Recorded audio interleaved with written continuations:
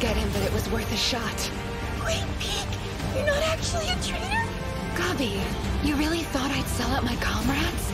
Well, you said if we kept fighting for Marley, we'd end up getting put Look down. there.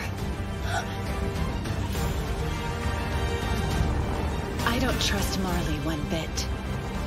Having said that, I trust the comrades who fought at my side completely. There's the smoke signal. Pieck and Galliard tracked him down and forced him out into the open. The Founder is here. Let's pay him back for Liberio. I want that bastard dead! Bring it on then. Reiner!